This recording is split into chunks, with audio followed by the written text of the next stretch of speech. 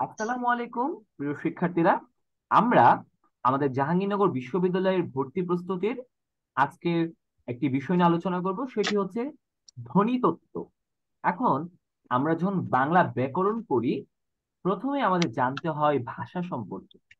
এই ভাষাটা আসলে কোত্থেকে আসলো, কীভাবে কাজ করে এই বিষয়গুলো আমি তো সেক্ষেত্রে আমি তোমাদেরকে বলব, যদি তোমরা ভাষা নিয়ে একটু ভালো করে পড়াশোনা করো, তাহলে তোমরা কি হবে? তোমরা অনেক কিছু মানে অনেক জিনিস সহজেই তোমরা আনসার করতে পারবা।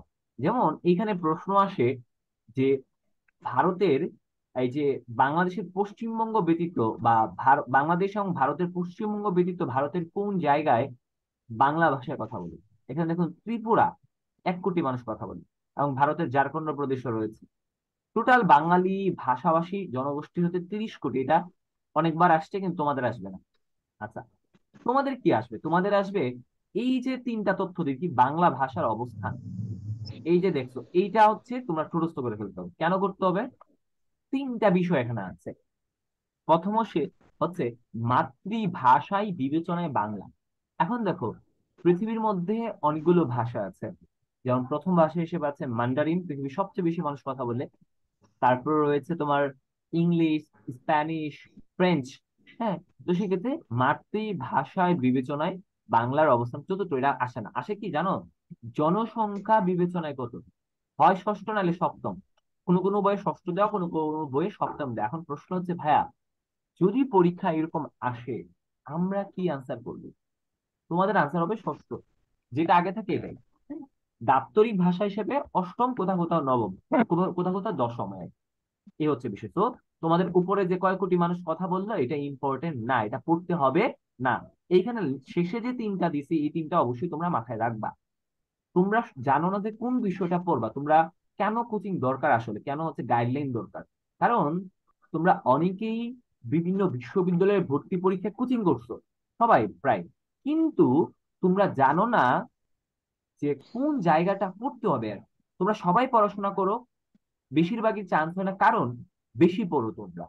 আমার সাজেশন হচ্ছে, তোমরা পড়বা কম, কিন্তু নম্বর পাওয়া বেশি। কীভাবে? টপিক পড়বা কম, কিন্তু একই টপিক বারবার পড়বা।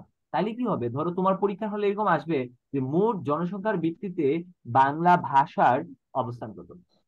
কিন্তু তোমরা কি করবা জানো? তোমরা সুন্দর করে চতুর্থ দাগায় দিয়ে আসবা। কারণ তোমরা পড়ছো ওই মাতৃভাষায় বিবেচনা কনফিউশন থাকবে। এটাই হচ্ছে যারা ভর্তি পরীক্ষা নেয়, তাদের সার্থকতা। তারা তোমাদেরকে কি করে জানো? একটা কনফিউশনে ফেলায় দেয়। তো আমরা এই একটা কনফিউশন ক্লিয়ার হলাম তাহলে আমরা যদি বলি যে মাতৃ মাতৃভাষা বিবেচনায় বাংলা ভাষার অবস্থান কত? বলো সবাই। বলো। চতুর্থ। তাহলে হচ্ছে জনসংখ্যার ভিত্তিতে সপ্তম। ষষ্ঠ। ষষ্ঠ বা সপ্তম আচ্ছা ঠিক আছে। দাপ্তরিক ভাষা অষ্টম বা দশম। একটা ক্লিয়ার শেষ। এবার দুই নম্বর বিষয় আসে। এরকম কোনো প্রশ্ন নাই যে এরকম বার হইছে যে এই যে উপাদান নিয়ে ঝামেলা হয় নাই। উপাদান নিয়ে ঝামেলা হয় না এরকম হয় নাই। যেমন উপাদান আর উপকরণ নিয়ে প্রত্যেকবার একটা ঝামেলা হই হয় ঠিক না? যে আসলে ভাই ভাষার উপকরণ কোনটা বা কি জিনিসটা আসলে কি ঠিক না? দেখো। এগুলো মনে থাকে না মুখস্থ হয় না ভাইয়া। হ্যাঁ এগুলো মুখস্থ হয় না। কারণ এগুলো মুখস্থ করার বিষয়ও না। ঠিক আছে? বিসিএস পরীক্ষায় বত্রিশতম বিষয় বিসিএস পরীক্ষায় এরকম প্রশ্ন আসছে যে ভাষার ক্ষুদ্রতম একক কি? তারপরে ভাষার মূল উপাদান কি? তারপরে ভাষার মূল উপকরণ কি? আচ্ছা দেখো তোমাদের খুব মনোযোগ দিয়ে শুনবা দেখো। এই যে ভাষার থেকে নিম্ন জায়গায় কি আছে দেখো? এইটা। মানে ভাষার যদি উপকরণ আসে তাহলে কি হবে? কি এটা আছে? বাক্য। মানে উপকরণ মানে কি? ধরো তোমাকে যখন বলবে আচ্ছা তুমি একটা রেসিপি বানাবা ধরো তুমি একটা নুডলস বা একটা রেসিপি বানাবা তোমাকে উপকরণ বলতে হবে। কি বলতে হবে? উপকরণ। উপকরণ বলতে কি কি বলব বলতো? নুডলস বানাতে কি কি লাগে? তোমার ডিম লাগে হ্যাঁ, কি লাগে হ্যাঁ, তারপর কাঁচামরিচ। হ্যাঁ এক্স্যাক্টলি হ্যাঁ। তার মানে এটা কি উপকরণ? এটা কি উপকরণ? বোঝা গেছে?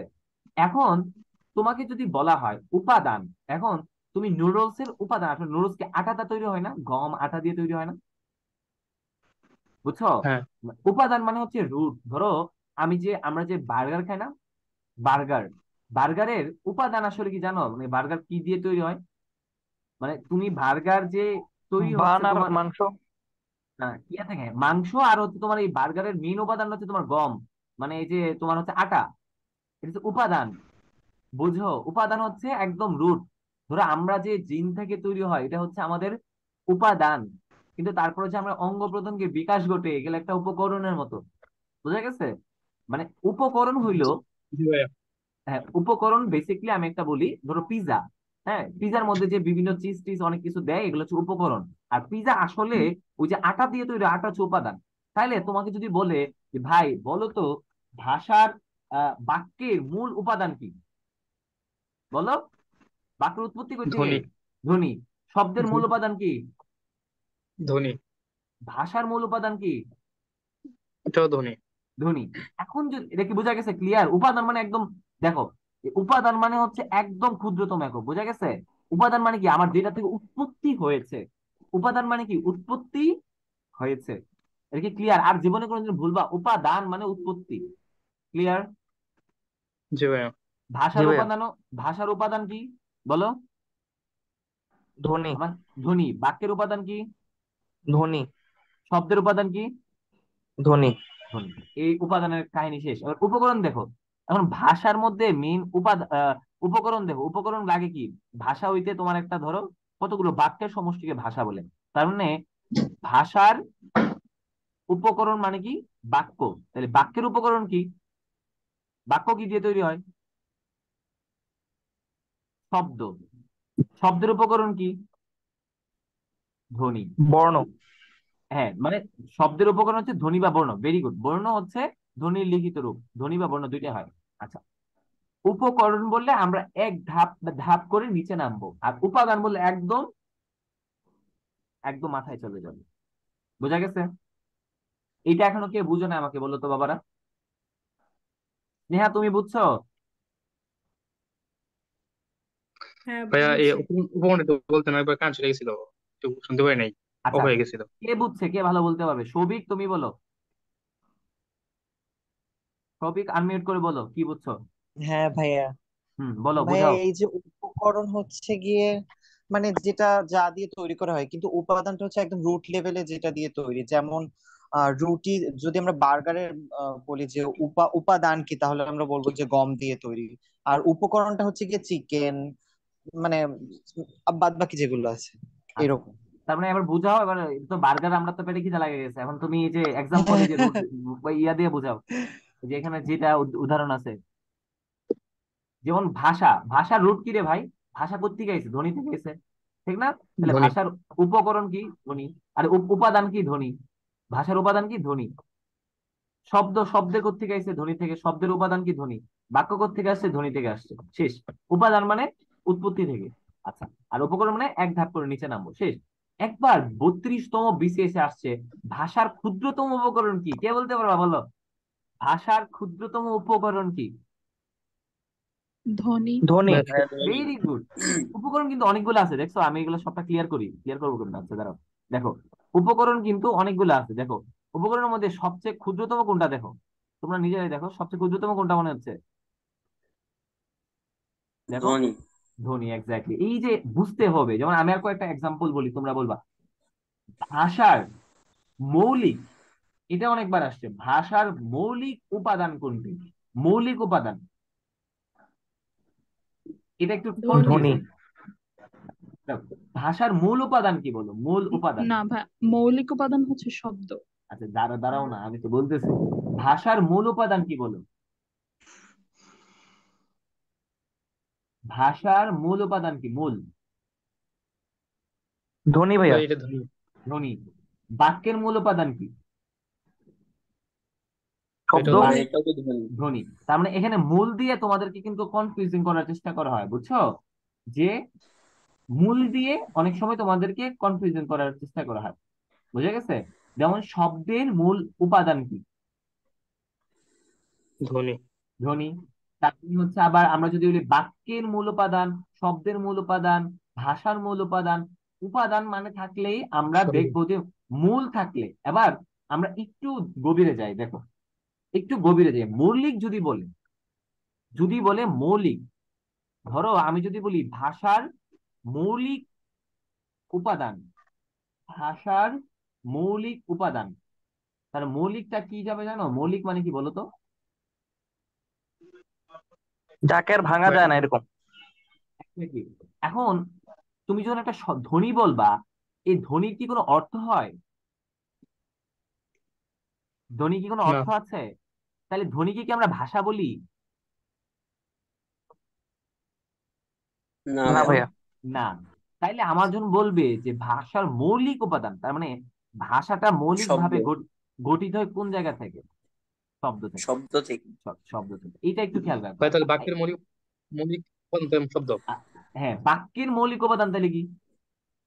শব্দ। ভাষার মৌলিক উপাদান কি? শব্দ। তার মানে এই সব মৌলিক থাকলেই মৌলিক যদি থাকে বাক্যের মধ্যে তাহলে এটা সব সময় সব সময় কি বলবা? মৌলিক থাকলে এটা কি শব্দ দেবা? মৌলিক মানে কি? মৌলিক মানে কি? খাতায় লিখে ফেলো। মৌলিক মৌলিক থাকলে এটা বাক্যের হোক ভাষার হোক কি হবে? শব্দ। এখন আমি যদি বলি শব্দের মৌলিক উপাদান কি বলো? ধ্বনি। কে বলছে আমি ভাইয়া। আচ্ছা দেখো। শব্দের কি মৌলিক উপাদান যদি বলি ধ্বনির কি কোনো অর্থ হয়? না ভাইয়া। তাহলে শব্দের কোনো মৌলিক উপাদান আছে? নেই। নাই তাহলে পরীক্ষা আনসার দেওয়া থাকবে। তিনটা অপশন শব্দের মৌলিক উপাদান কি? বাক্য কতগুলো ভাষা ধ্বনি হয় না। একটা শব্দ হয় ভাইয়া। কি? বলো। কতগুলো ধ্বনি মিলে তো এক্স্যাক্টলি কতগুলো ধ্বনি কতগুলো ধ্বনি বাট এইখানে কিন্তু ধ্বনি লেখা। তুমি শব্দ বললে কিন্তু অনেকগুলো ধ্বনি এখানে একসাথে আছে। বাট ধ্বনি যদি থাকতো কতগুলো ধ্বনি? এখানে যদি ধ্বনি না থাকে তাহলে কতগুলো ধ্বনি থাকতো? তাহলে অন্য হিসাব ছিল। কিন্তু এখানে শুধু আছে ধ্বনি। ধ্বনি দিয়ে কখনো মৌলিক উপাদান হয় না। ঠিক আছে? মৌলিক মানে শব্দ। যদি বলে ভাষার মৌলিক উপাদান কি শব্দ? বাক্যের মৌলিক কি শব্দ? শব্দের মৌলিক কি ধ্বনি হয় না। তাহলে শব্দের কোনো মৌলিক উপাদান নাই। কিন্তু শব্দের শব্দের মূল উপাদান আছে। মূল উপাদান কি রে বাপ? ধ্বনি। ধ্বনি। ধ্বনি। মূল আর মৌলিকের পার্থক্য বোঝা গেছে? গুড ভেরি গুড আর জীবনে ব্যস্ত লাগবে এই দুইটা? উপাদান মানে ঘম শেষ আর কিছু তাই নেই। আচ্ছা আবার ভাষার রূপ এটা খুবই ইন্টারেস্টিং কিন্তু তোমরা এটা পারো এটা ক্লাস সিক্স থেকে পড়তেছো আমার মনে হয় না দেখানোর দরকার আছে। ভাষার রূপ হচ্ছে তিনটা একটা হচ্ছে মৌখিক রূপ লেখ্য রূপ ইঙ্গিত ভাষা। ইঙ্গিত ভাষা দরকার নাই। মৌখিক রূপের মধ্যে আমরা সাধারণত আমরা কি দেখি? যে এই যে চলিত ভাষাটাকেই দেখি আর আঞ্চলিক ভাষাটাকে দেখি। যে এই যে যেমন নোয়াখালী অনেকে থাকো আবার অনেকে চলিত ভাষা নদিয়া কুষ্টি অঞ্চলের থাকো আবার লেখ্য রূপের মধ্যে চলিত সাধু। পরীক্ষায় এরকম প্রশ্ন আসতে পারে যে কি আসবে দেখো? আসতে পারে নাটক ও বক্তৃতার অনুপযোগী রীতি কোনটি? বা নাটক ও বক্তৃতায় কোন রীতি অনুশীলন করা হয়? কোন রীতি? চলিত রীতি। গুড শেষ। এই একটাই হবে ইম্পর্টেন্ট আর আরেকটা আসতে পারে যে সাধুরীতি ব্যাকরণের নিয়ম মেনে চলে এবং পদবিন্যাস সুনিয়ন্ত্রিত এবং সুনির্দিষ্ট। পরীক্ষা আসে কোন শব্দরীতির? পদবিন্যাস সুনিয়ন্ত্রিত বলতো? তো সাধু রীতি হুম। আচ্ছা এবার দেখো। আর এখানে সর্বনাম ক্রিয়াপদের দীর্ঘ শেষ আর কিছু দরকার নাই অনেক বেশি পড়তে হয় না শেষ এটা এখানে খতম। আরেকটা আছে এটা হাজারবার আসে চলিত রীতির প্রবর্তক কে? চলিত রীতির প্রবর্তক কে? বলো। প্রমোদ চৌধুরী। প্রমোদ চৌধুরী। হ্যাঁ আবার কেউ প্রথম চৌধুরী বলল না যাই হোক তারপরে হচ্ছে এই যে রীতি আছে। হ্যাঁ? আমারটা কি প্রথম লেখা আছে না?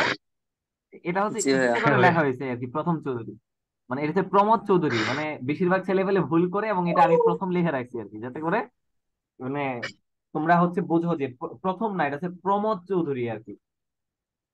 আচ্ছা এটা প্রমোদ চৌধুরী। যাও আচ্ছা এই প্রমোদ চৌধুরীর একটা কবি একটা ইয়ে ছিল পত্রিকা ছিল। এই পত্রিকাটার নাম কি? কে বলতে পারো? বলো। সবুজপত্র সবুজপত্র। এটা হচ্ছে উনিশশো চোদ্দ সালে। এটা রবীন্দ্রনাথ ঠাকুরও লিখতেন। উনিশশো চোদ্দ সালে এটা প্রকাশিত হয়েছে। কত সালে? উনিশশো চোদ্দ সালে। শেষ আর দরকার নাই। আরেকটা আসে যে এই চলিত রীতি আসলে কোন অঞ্চলের ভাষা? এটা হচ্ছে নদিয়া জেলা। নদিয়া কোন অঞ্চলের পূর্ব নাম? কৃষ্ণনগর শান্তিপুর। এটা হচ্ছে যশোর। যশোর বলছে কে? পিরায়া। এটা হচ্ছে কুষ্টিয়া। কোথায়? বলো কোথায়? কুষ্টিয়া। কুষ্টিয়া। কুষ্টিয়া।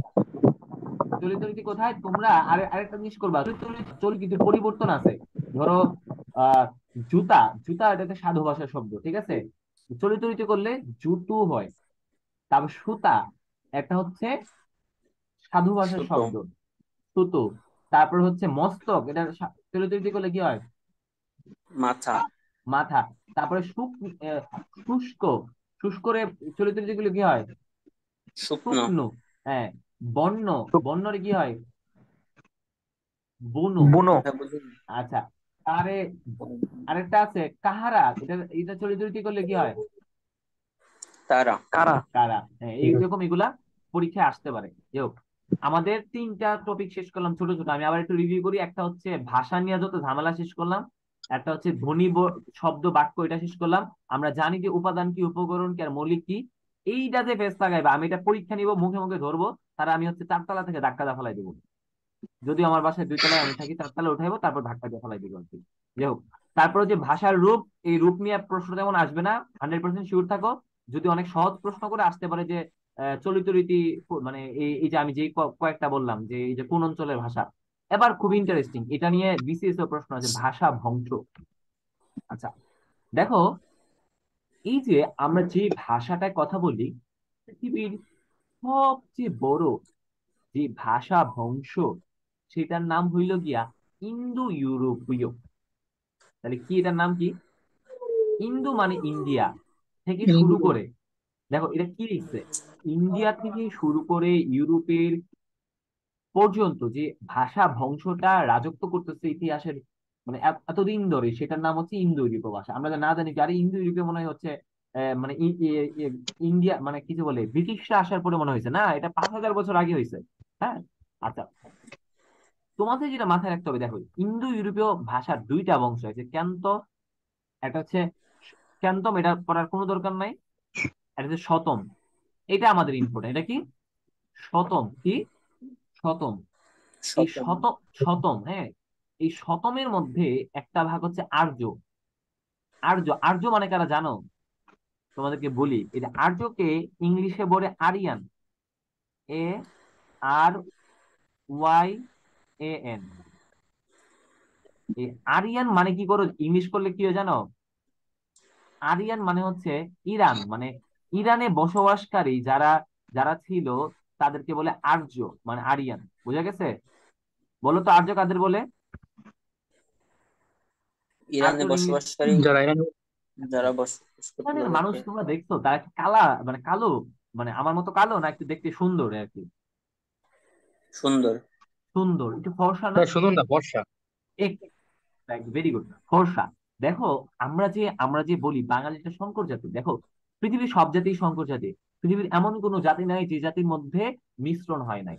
তো যেটাই হোক আমরা বলি এই যে আর্য দেখবা তোমার ক্লাসের যে ছেলেটা একটু ফর্সা বা যে ছেলেটা একটু ফর্সা ধরো আমার বড় ভাই আপন বড় ভাই খুব ফর্সা। তো ধরো মানে ক্লাসের মধ্যে অনেক ছেলেদের থাকে না যে ফর্সা বা মেয়ে থাকে না ফর্সা তার ভাত কম থাকে না বেশি থাকে। বেশি থাকে। বেশি থাকে। আর্যরা, তারা ভাবতো, আরে, আমরা তো হচ্ছে ফর্সা। তো তারা সব সময় বলতো যে, আমরা হচ্ছে সেরা। আমরা হচ্ছি সেরা। আর তোমরা যারা দ্রাবিড়, ধরো, দ্রাবিড় অস্ট্রিক বা মঙ্গোলয়েড আছে, মঙ্গোলয়েড আর নিগ্রোয়েড, তোমরা হচ্ছে কালা।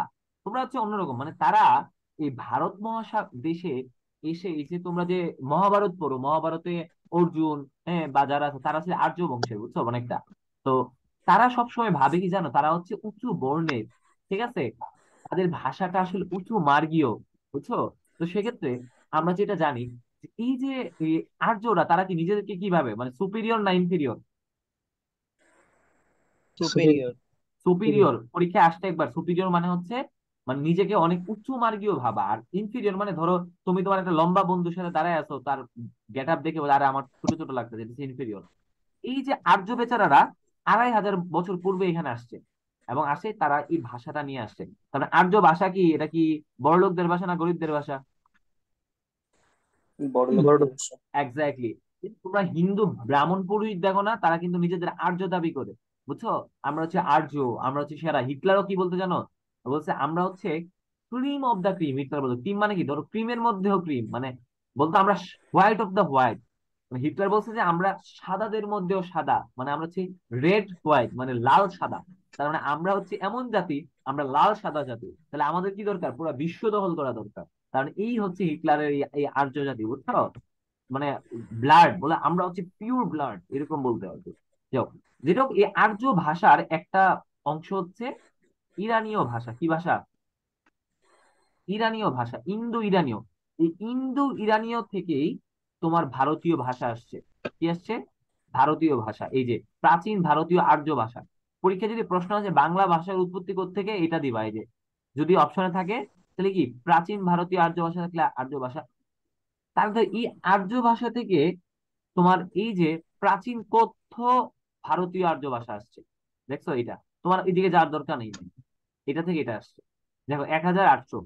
এই কথ্য ভারতীয় আর্য ভাষা থেকে তোমার আসছে প্রাচীন প্রাচ্য, এই যে এটা, এই প্রাচীন প্রাচ্য, এই প্রাচীন প্রাচ্য থেকে তোমার যেটা আমাদের জন্য যে মাগধী প্রাকৃত আসছে হ্যাঁ মাগধী প্রাকৃত হ্যাঁ অনেকে বলে গৌরী প্রাকৃত তো ডক্টর মোহাম্মদ শহীদুল্লাহ একরকম বললে, আরেকজন আরেকরকম বলে এটা আমরা একটু আলোচনা করব, সমস্যা এটা হচ্ছে গৌরী প্রাকৃত এই গৌরী প্রাকৃতর একটা অংশ হচ্ছে গৌর অপর অংশ হ্যাঁ এইটার আর একটা অংশ হচ্ছে বঙ্গকামরূপী, এই বঙ্গকামরূপী থেকে বাংলা আসছে এখন তোমাদের মাথা ঘুরাইতেছে আমার মতো আমি জানি। তোমাদের বইয়ে যদি প্রশ্ন থাকে বাবা যে বাংলা ভাষার উৎপত্তি কোথায়? তোমাদের অপশন আছে কি? দেখো একটা প্রাচীন ভারতীয়। তোমরা শুনতেছো আমাকে? জি ভাইয়া। আচ্ছা তোমরা মনোযোগ দিয়ে শোনো যে বাংলা ভাষায় উৎপত্তি কোথা থেকে। প্রথম অপশন হচ্ছে এটা। প্রাচীন ভারতীয় আর্য ভাষা। দ্বিতীয় অপশন হচ্ছে তোমার আহ গো- গৌরী প্রাকৃত তৃতীয় অপশন হচ্ছে আহ, তোমার হচ্ছে তোমার এই গৌর অপর অংশ। চতুর্থ অংশ হচ্ছে বঙ্গকামরূপী। বঙ্গকামরূপী এখন তুমি কোনটা দিবা বলো? বঙ্গবন্ধু- চারটাই কিন্তু বাংলা ভাষার উৎপত্তি থেকে আসছে। এখন কোনটা দিবা তুমি বলো? বঙ্গ কামরূপী। এক্স্যাক্টলি প্রাচীন এখন ভারতীয় কেন হবে না? কেন হবে না? কারণ ধরো আমি যদি বলি ধরো আমার বংশের নাম হচ্ছে তোমাকে বলি হ্যাঁ ধরো তোমার বলা হয়েছে যে এরকম একটা বিষয় যে আমার একটা অপশন দিয়ে বলল যে রায়হান স্যার কোথা থেকে পড়েছেন? প্রথম অপশন আমার প্রাইমারি স্কুলের নাম। দুই নাম্বার অপশন ধরো আমার হাই স্কুলের নাম। তিন নম্বর অপশন আমার হচ্ছে কলেজের নাম। চার নম্বর অপশন আমার ইউনিভার্সিটির নাম। তাহলে আমি কোনটা বলব? কোনটা আমার সাথে খুব কানেক্টেড সবচেয়ে কানেক্টেড কোনটা? মানে সবার শেষ কোনটা? ইউনিভার্সিটি তাহলে আমি আনসার দেবো কোনটা? মানে কোন- কোনটা বেশি মোস্ট স্পেসিফিক করে দেওয়া বলো? আমার ইউনিভার্সিটিটা ঠিক না? রিসেন্টলি আমি এখন পড়াশোনা করতেছি, তার মানে আমার স্পেসিফিক সবচেয়ে স্পেসিফিক কোনটা আমি এটা আনসার দেব। বোঝা গেছে? যদি শতম বলে আনসার শতম হয়, কিন্তু আর্য হয়, প্রাচীন ভারতীয় হয়, প্রাচীন আর্য হয়, মাগধী প্রাকৃত, গৌরী প্রাকৃত, গৌরী গৌর অপর অংশ বঙ্গমরী সবগুলো অ্যান্সার হয়। কিন্তু আমি আনসার দিব সবচেয়ে মানে আমার ইমিডিয়েট যেটা আছে ওইটাই। বুঝা গেছে? আমার খুব কাছের মানে একদম বাংলা ভাষাটা যেটা থেকে সরাসরি আসছে যেহেতু বঙ্গকমরূপী এখন প্রশ্ন হইল পরীক্ষার মধ্যে এটাও নাই। আছে কি? মাগধী প্রাকৃত গৌরী প্রাকৃত আর হচ্ছে বঙ্গকামরূপী আর প্রাচীন আছে। তাহলে কোনটা দিবা বলো? আমি মাগধী আবার প্রাকৃত। বলতেছি মাগধী প্রাকৃত গৌরী প্রাকৃত ধরো প্রাচীন কথ্য আর গৌর অপর অংশ তাহলে কোনটা দিবা বলো? গৌড় অপরাংশ কোনটা দিবা বলো? গৌর গৌর গৌর অপরংশ কিন্তু গৌর অপরংশ নাই এবারে তাহলে আবার কোনটা দিবা? যদি গৌর মাগধী প্রাকৃত নেই মাগধী প্রাকৃত ঠিক আছে? মানে যত কাছে বললে না? মানে তোমার কাছে আমি হাত বাড়িয়ে দিতে চাই এরকম একটা কবিতাও আছে হ্যাঁ? যত কাছে যেতে চাই আর কি এরকম। আমাদের আরও বেশি কাছে যেতে হবে। ক্লোজ আপ তোমরা ভালোবাসার কাছে আসার গল্প শোনো নাই? তো যত কাছে আছে তত কাছে আনসার দিতে হবে আর কি। বুঝছ বাবারা? হুম? জি ভাইয়া। এই কনফিউশনগুলা কিন্তু বিসিএস আমি নিজেও ভুল করে আসছি। টু বি ভেরি ফ্র্যাঙ্ক তারপরে আমি থেকে থেকে শিখছি এগুলা। যাই হোক তোমরা যেন এই ভুলগুলো করো না। এগুলা রাজশাহী ইউনিভার্সিটি এখান থেকে একটা মাস প্রশ্ন থাকবে। দুনিয়া উল্টাই যাবে পৃথিবীর ইতিহাসে কোনো মানে এখান থেকে বিসিএস একটা প্রশ্ন থাকবে। ইউনিভার্সিটি একটা থাকবে। কথা কি ক্লিয়ার না কোনো ভেজাল আছে? আচ্ছা। তাহলে আমরা ভাষা সম্পর্কে অনেক কিছুই পড়লাম ঠিক না? এই যে ভাষা নিয়ে অনেকের অনেক ইয়ে।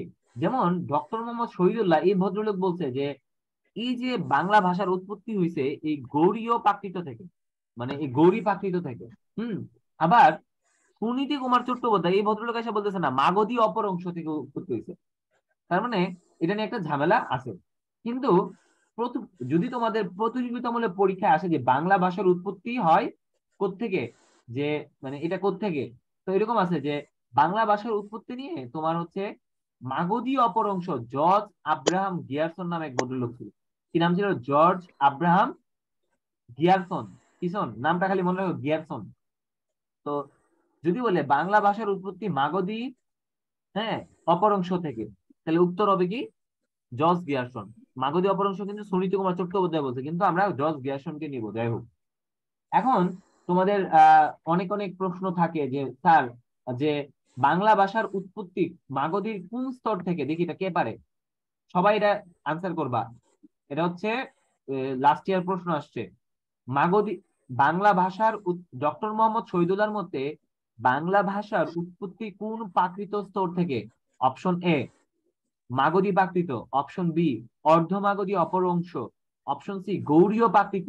Option D Maharashtri Prakrit. Magadhi Prakrit. Doctor Muhammad Shahidullah. কোনটা? গৌরী প্রাকৃত আর এই বেচারা এই যে মাগধী প্রাকৃত নিয়ে লাড়া লাড়া করছে একজন হচ্ছে সুনীতি কুমার আর একটা জর্জ গিয়ারসন। তো এই গিয়ারসন আর আচ্ছা সুনীতি কুমার হচ্ছে মাগধী প্রাকৃত বলো। সবসময় দেখি মানে সৈনিক কুমার আর আহ, শহীদুল্লাহ সবসময় তারা বিরোধী বক্তব্য দেয়, কিন্তু সবাই একসাথে মিল দেয় না। আমার এটা ছোটবেলা থেকে প্রশ্ন, এই দুই ভদ্রলোক একসাথে কেন মিলতে পারে না? দুই মানে এক বলে না, এক বনে দুই ভাগ জায়গা নেয় না আর কি। তো আসলে দুইজনই খুবই মেধাবী ছিলেন। তো সেই ক্ষেত্রে আসলে ডক্টর মোহাম্মদ শহীদুল্লাহ একটু বেশি পড়াশোনা করতেন, এই জন্য বেশি ইন ডিটেলস বেশি দিতেন আর কি। এই হচ্ছে কাহিনী, আর কিছু না। আচ্ছা তোমরা দেখি এটা পারো কিনা? এটা জানলে আমি আমি আবার নতুন লিঙ্ক দিব। দেখো, বাংলা ভাষার উৎপত্তি হয়েছে যেখান থেকে? বা বাংলা ভাষা কোন কোন মূল ভাষার অন্তর্গত? অপশন দিয়ে শোনো। এ ইউরালীয় বি সেমিটিক বি দ্রাবিড় চার হচ্ছে ইন্দো ইউরোপীয়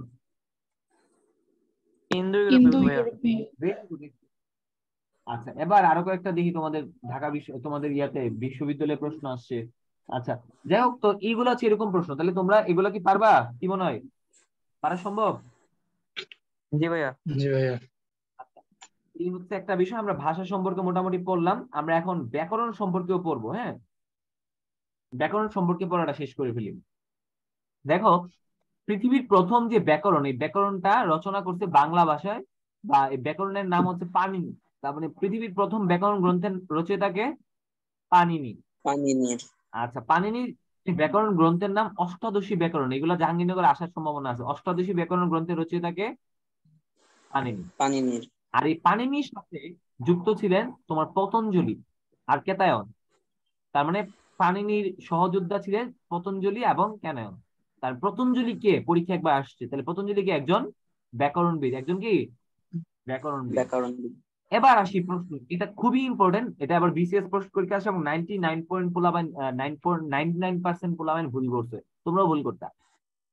সতেরোশো তেতাল্লিশ সালে পর্তুগিজ পাদ্রি মানুয়েল দা আসাম্পাসিও সর্বপ্রথম বাংলা ব্যাকরণ রচনা করেন এবং এটা পর্তুগালের রাজধানী লিসবন থেকে রোমান হরফে পর্তুগিজ ভাষায় ভোকাবুলারি পর্তুগিজ নামে পরিচিত হয়। এটি একটি মূলত অভিধান এবং এটার শেষে ব্যাকরণ আলোচনা ছিল। তার মানে তোমার যদি পরীক্ষায় প্রশ্ন আসে যে, বাবা বলতো যে বাংলা ভাষা, বাংলা ব্যাকরণ প্রথম রচনা করেন কে? মনোয়েল দাস ম্যানুয়াল দা সুম্পাসাও। আসুম্পাসিও আসুম্পাসাও আসুম্পাসাও ভাই, আমার সাথে বলো আসুম্পাসাও। আসুম্পাসাও আসুম্পাসাও মানে বললাম বিড়ালে আমাদের এলাকায় বলে সাও। হ্যাঁ, ওই যা একটা মনে রাখো আস্তম্পাস্তা মনে রাখলে হয়েছে আচ্ছা এবার এটা হচ্ছে কি বাংলা ভাষায় এটা কি প্রথম ব্যাকরণ গ্রন্থ না এটা হচ্ছে প্রথম বাংলা ব্যাকরণ বোঝো এটা কি প্রথম বাংলা ব্যাকরণ কোন ভাষায় পর্তুগিজ ভাষা। মানে রোমান হরফে পর্তুগিজ ভাষায়। আচ্ছা এবার দুই নাম্বার দেখো, প্রথম পূর্ণাঙ্গ বাংলা ব্যাকরণ রচনা করেন পর্তুগিজ পাদ্রী। দেখো, উনি যেটা করছে, এটা কিন্তু পূর্ণাঙ্গ ছিল না, শেষে মূলত, এটা মূলত অভিধান ছিল। আর পূর্ণাঙ্গ ব্যাকরণ রচনা করছে আরেকজন পাদ্রী, নাম হচ্ছে Nathaniel Brassey Halhed Brassey, Nathaniel Brassey, এটা মনে রাখলে হবে। তার বইয়ের নাম ছিল A grammar of the Bengali language. এটা হচ্ছে ইংরেজি ভাষায় ছিল। এটা কোথায় ছিল? ইংরেজি ভাষায়। আচ্ছা এবার তিন নম্বর প্রশ্ন হচ্ছে বাঙালিদের মধ্যে প্রথম বাংলা ব্যাকরণ রচনা করেন কে? বলো। প্রথমে ইংরেজিতে ব্যাকরণ রচনা করেন পরবর্তীতে আঠারোশো তেত্রিশ সালে এটাকে গৌরীয় ব্যাকরণ নামে বাংলায় পুনর্ব্যবহার করেন। এবার তিনটা আমি তোমাদের আলাদা করে দিতেছি। খুব মনোযোগ সহকারে শুনবা। যে শুনবা না তার জীবনে না শোনার বোধ থাকবে আর কি। বলব? আমি অভিশাপ দিতে পারি না। আচ্ছা দেখো, প্রথম বিষয়, যদি পরীক্ষায় আসে বাংলায় প্রথম, দেখো, বাংলায় না, বাংলা ব্যাকরণ প্রথম রচনা করেন কে? এটা হবে ম্যানুয়াল দা আসম্পাসেও দা ম্যানুয়াল দা আসম্পাসাও আচ্ছা আসম্পাসাও যেটা হোক। আচ্ছা দুই নম্বর হচ্ছে, যদি বলি প্রথম পূর্ণাঙ্গ বাংলা ব্যাকরণ রচনা করেন কে? এটা হবে নাথা নাথানিয়েল নাথা ব্রাসি। নিয়েল ব্রাসি হেলেন। এটাও শেষ। কিন্তু যদি থাকে যে তারা দুইজনই বিদেশি। যদি বলে বাঙালিদের মধ্যে প্রথম বাংলা ব্যাকরণ রচনা করেন কে? রাজা রামমোহন রায়। কিন্তু তার গ্রন্থটা ইংরেজিতে ছিল পরবর্তীতে এটা বাংলা। বলো পরীক্ষায় এরকম হাজারবার আসছে গৌরীয় ব্যাকরণ রচনা করেন কে?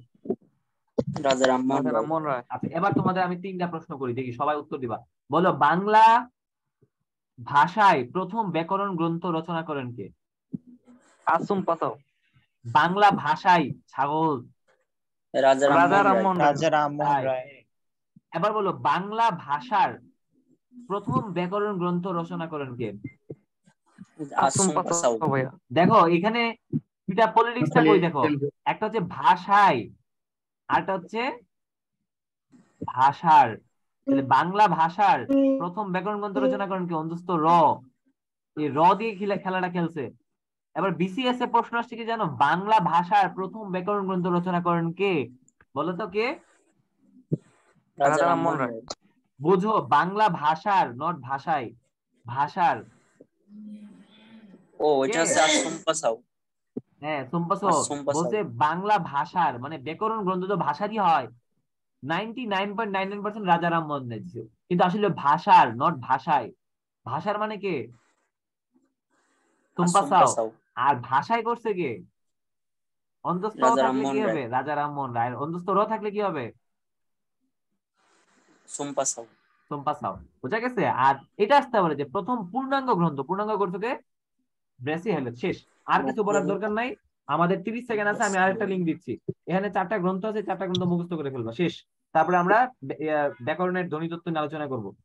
আমি এখনই আবার লিঙ্ক দিচ্ছি। ক্লাস বোরিং লাগতেছে? না ভাইয়া। God.